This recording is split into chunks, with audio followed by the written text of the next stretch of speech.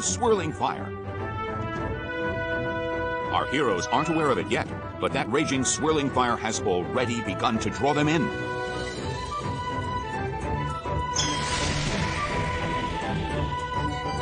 What awaits them at the end of their experiences has yet to be discovered as the journey continues.